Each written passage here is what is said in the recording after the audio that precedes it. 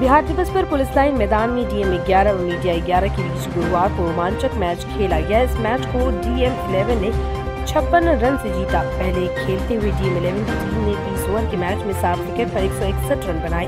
जवाब में उत्तरी मीडिया 11 की टीम 105 रन पर ढेर हो गई। इस मैच को डीएम 11 ने छप्पन रन से अपने कब्जे में कर दिया। मैन ऑफ़ द मैच वथिस्ट बॉलर दरभंगा के नगर आयुक्त गौरव को दिया गया।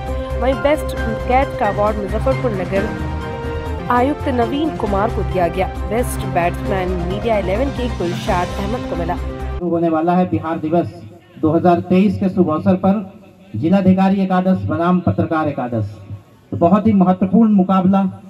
और इस समय समाचार ये है कि कुछ ही देर पहले अंपायर सुरेंद्र शर्मा ने टॉस करवाया और जिलाधिकारी महोदय ने टॉस जीता और पहले बल्लेबाजी करने का फैसला किया है।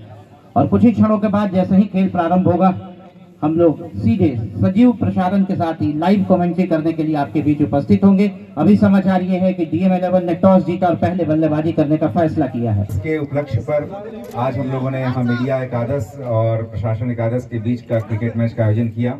बेसिकली उद्देश्य यह है कि हम लोगों के बीच संवाद निरंतर कायम रहे, क्योंकि दोनों का काम एक ही है। जो प्रगति है, जो विकास है, उसको आगे बढ़ाना, कहीं समस्याएँ हैं जो हम लोगों के तक नहीं पहुँच रही हैं तो मीडिया के माध्यम से हम लोग तक पहुँचती है। और हम लोगों के मैसेजेस भी मीडिया के माध्यम से जन जन तक पहुँचते हैं। आज इस उद्देश्य को पूरा करने के लिए, आपस में संबंध को और बेहतर और प्रगाढ़ बनाने के लिए इस काफ़ी रमणीक वातावरण में इस मैच का आयोजन किया गया। इस अवसर पर मैं आप सभी लोगों को बिहार दिवस की हार्दिक शुभकामनाएँ देता हूँ। बहुत बहुत धन्यवाद बहुत बहुत शुभकामनाएँ और बधाई। लेटेस्ट खबरों के लिए देखते रहिए एम न्यूज़ जेड न्यूज़ और ताज़ा अपडेट पाने के लिए चैनल सब्सक्राइब करना ना भूलें।